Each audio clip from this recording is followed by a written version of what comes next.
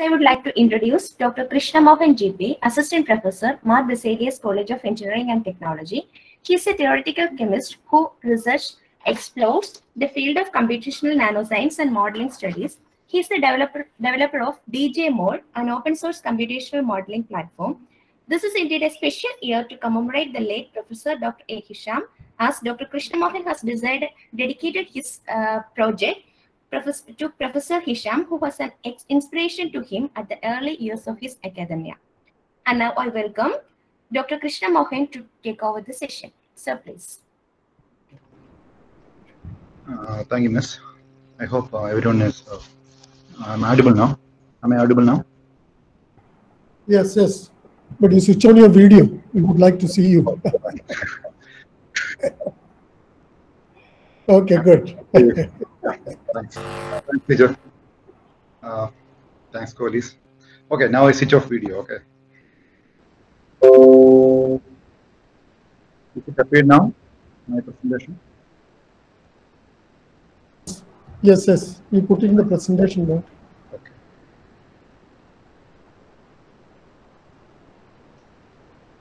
I hope it is working now. It's not. It's not. It's not in the full screen. You can see it. If you want, you can continue like this. I just I. In my screen, I am seeing the. Uh, It's okay. But you can just uh, present it this way. It's not coming that way. You don't waste time. Uh, You can click the slides and show. Please. So I'm Krishna Mohan, now currently as working as an assistant professor in uh, Mar Baselios College of Engineering and Technology, Trivandrum. And uh, this talk is about uh, an open source program called DJMol. Okay. And uh, uh, first of all, I thank uh, Kerala Academy of Science for uh, invitation and Dr. Ramesh from TBGRI and Dr. DMSA and Alpha Teacher for her motivation. And uh, my short introduction, I got uh, BSc uh, from University College, where I met Hisham sir. And uh, then I took my MSc in Physical Chemistry from School of Chemical Science in University Kerala. Then I took my PhD uh, from University of Leiden, Netherlands. Then I took uh, two postdocs from postdoc uh, from South Korea and IAST. IAST is in Kerala. Then I worked in uh, Triple ITMK and NIST. There I discontinued my research. Then uh, I moved to Noorul Islam University as professor. Uh, I also have got some projects from Google, uh, NVIDIA, DST Fast Track, and IKST. Actually, DJ only belongs to uh, IKST. I, I made this program for IKST. Um, the most important point is I dedicate this project to Dr. Abdul uh, Kader Hisham sir. Uh, actually, uh, he didn't teach me uh, at class. I was I studied my BSc in University College, and uh, my classroom was near to his office. So I used to talk with him, and uh, he he was a very good storyteller. He was a very good storyteller, and he told many stories about science, chemistry, everything, almost everything. Uh, so he was a very good mentor of mine. Uh, so he really motivated me to do PhD in abroad, not in India. So I really dedicate this program uh, to Dr. Hisham. And uh, why I initiated this project? Actually, there are many uh, computational chemistry software or computational physics softwares are available, uh, mostly in commercial field. Uh, from using that software, you can do material science modeling, nanoscience modeling, and molecular modeling. Okay, but the problem is this: if you go to material science field, there are less softwares are available. Especially, uh, you could find very few uh, open source software. So I really want to initiate an open source program in material science. So this is the real uh, project motivation. Um, in essence, DJMOL is a layman's material studio. Material studio um, is a very commercial or very expensive software for uh, uh, molecular modeling and material science modeling. And what you're seeing is the uh, screenshot of material studio. Okay, and here you can see uh, the scripting. Actually, they use a Perl language for scripting, and uh, you can generate a lot of molecules, uh, crystalline structure, extended system, etc. Okay. It's available uh, mainly in Windows operating system. And uh, this is DJMol. So currently is available in the Windows version, and uh, you can uh, there are Pardon me, sir. Your slides are not moving. sorry Your Your slides are not not moving. moving. oh, movie. Are you? Oh, okay, that's fine. All right. If you could manually move them, it would be uh, convenient.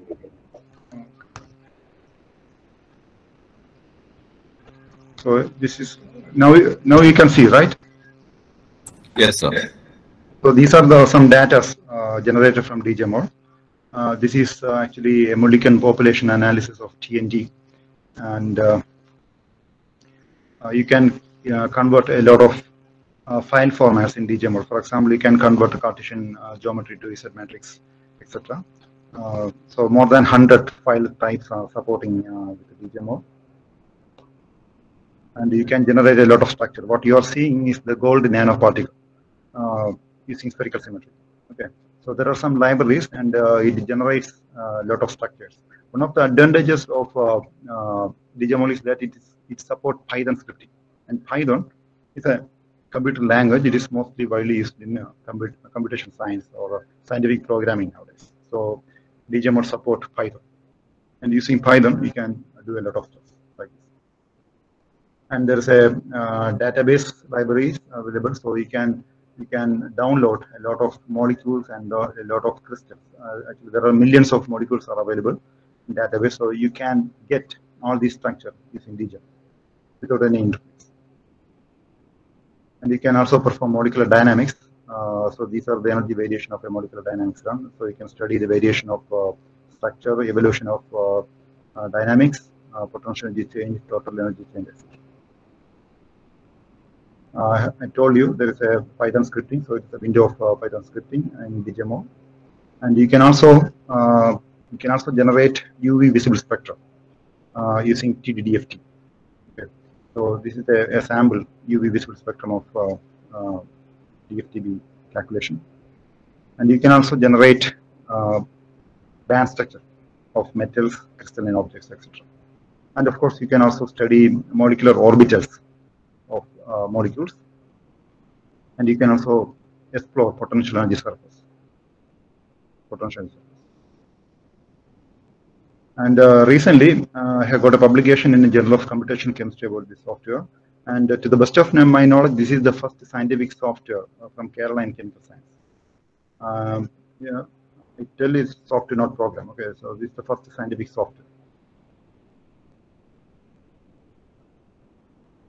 And uh, one attraction of DJMol is that this is open source. Okay, so open source means uh, actually uh, to make a software you, you have to write a lot of programs. Okay, uh, source code and it is free.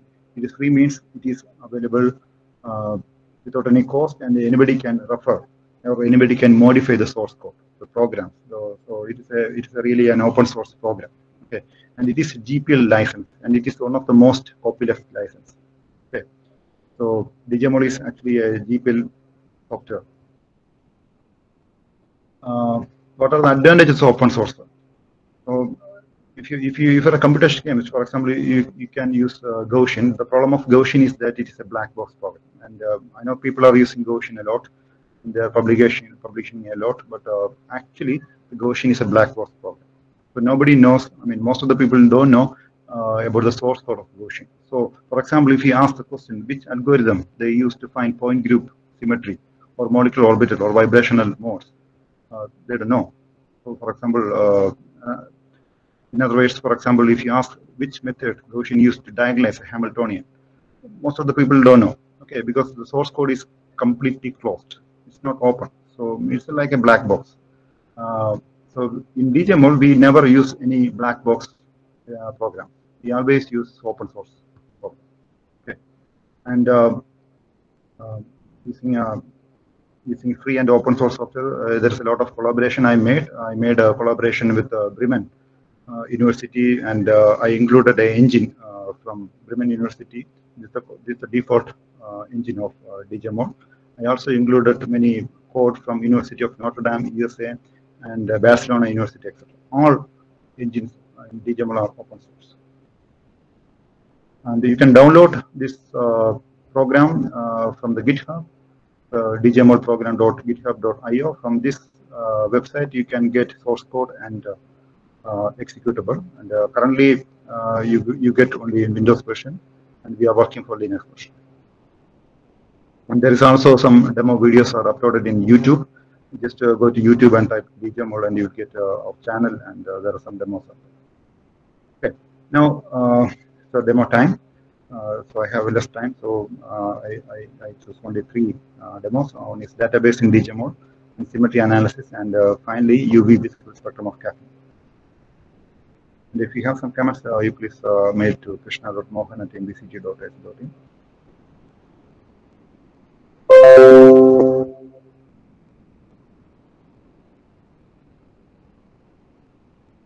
Now I show the djmol program.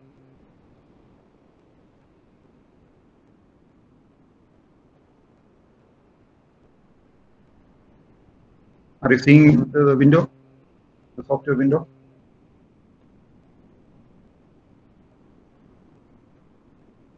Yes, sir. Yes, sir. So this is actually a interface of uh, djmol program. So this is the file uh, menu, edit menu, view, source, setup, run. And here you can see there are two engines are supported here, DFTB. Uh, it is an approximate DFT uh, method. And SIESTA is one of the DFT methods. Run, execute, tools. And these are the analyzers, uh, data analyzers, extra data analyzers here. Uh, about. Here you can see the DJMol software is licensed under GNU public license version 3. So it is one of the most uh, copyleft. Uh, it has one of the most copyleft license. Okay. So first I open a structure. So I, maybe I can open benzene here.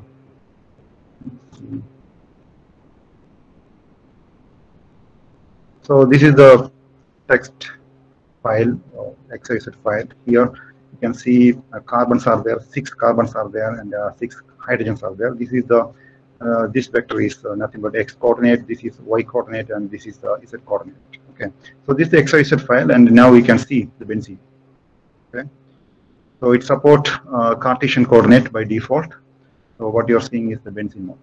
Okay, now uh, maybe we can analyze the point group symmetry of benzene. The point group symmetry is very important uh, analysis tool in the because it support it uh, it uh, uh, simplify a lot of calculations, uh, especially in MO analysis and vibration analysis. Okay, so there is a point group uh, symmetry series here. Now you can find out point group symmetry. Okay. Now it found a point group symmetry of benzene and you can see that it found point group. This is DC D6H. Okay, and here you can see a lot of planes and a lot of uh, uh, uh, point group elements like C2, 3, S6, etc. Anyway, so it correctly found the point group, and it has elements E, T3, S3, sigma, P6, S6, I inverse, P2, etc. Okay, and you can also project um, and it also found some subgroups. Okay, D6H is the point group symmetry, but it also found uh, the uh, subgroups like C6, V, D3, etc. And you can also project this geometry to its subgroups. Okay, so it is one of the primary demo of DJMOL. So using DJMOL, you can analyze a lot of uh, symmetry properties of model. Then uh, I go for uh, database tool. So there is a database tool in available in uh, DJMol. It's a database tool, you can download a lot of molecules. There are millions of molecules are available, and it is also uploaded in uh, uh, regularly in, uh, in databases. So you can you can fetch uh, structure of molecules, uh, either molecule structure or crystalline structure. Okay. Now I demonstrate, for example, if you type paracetamol here, it will download the structure of paracetamol. This is the paracetamol. Okay. You can also any uh, English name here, or you can also use uh, systematic chemical names here. So it will go. Uh, the DJMol will connect to server, and it will download um, the structure. Okay. So it's one of the basic uh, basic utility of DJMol. So you don't want to go to Google and search uh, the, the structure. Okay, so it has a database connectivity tool and it will automatically connect to server and it will fetch the structure. Okay, so I'm quite sure that any, uh, everyone is uh, familiar with the ball and stick model. So these are the carbon atoms, uh, the oxygen, nitrogen, and hydrogens. Okay. Now I will go for a real calculation. So my aim is to calculate UV visible spectrum of caffeine. And caffeine is an alkaloid, uh, so it has some uh, properties are there. So it actually it's a colorless compound. So we will we will we will try to simulate the UV visible spectrum of caffeine. Okay. So first you have to open the file.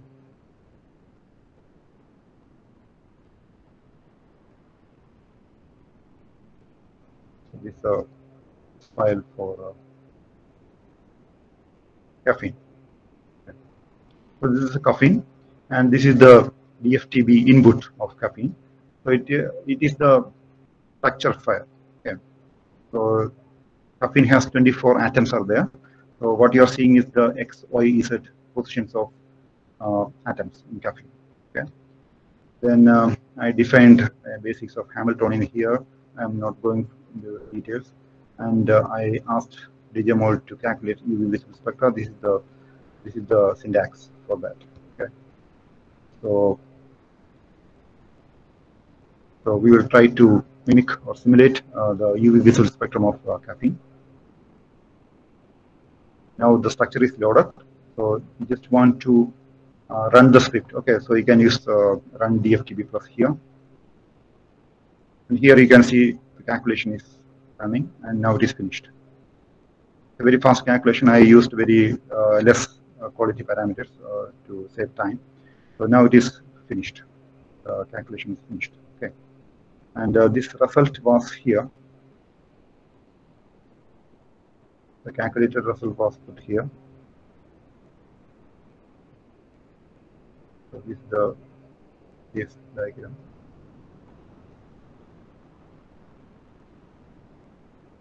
And we can visualize the UV visible spectrum.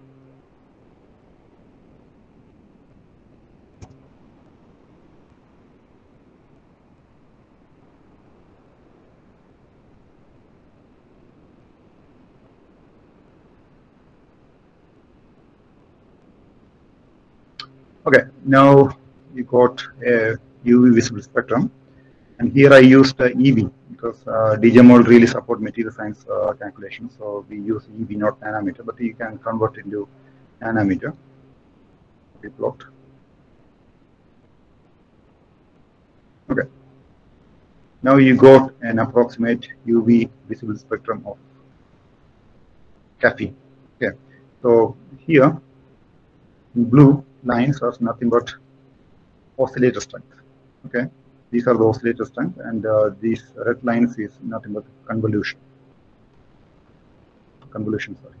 Okay, so uh, so if you take the experimental uh, UV visible spectrum, you will get uh, a spectrum like this. Okay, and this is the far UV. So generally, don't they don't print it. So in this way, you can generate UV visible spectrum of uh, any compound. Okay, using DJMol. So this is my very short introduction to DJMol. And uh, you can also analyze molecular orbitals of uh, uh, any organic compounds or inorganic compounds. And uh, you can also perform SIESTA calculation. And SIESTA is a, a DFT engine, so uh, it will it will uh, give more accurate results. Okay. So what you did is what I showed here is DFTB calculation. This is approximate DFT calculation. So it's very fast within within within uh, one minute or two minutes you can uh, calculate uh, quite complex spectra. So, so it's all about my presentation now. If you have some queries, just please ask me. Thanks.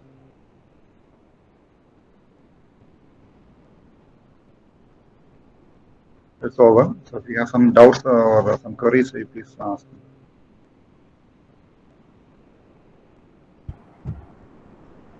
Thank you, uh, Krishna Mohan, for uh, the excellent presentation of DJ, DJMol. Uh, I'm sure that this is a great tribute to pay tribute to Dr. Hisham.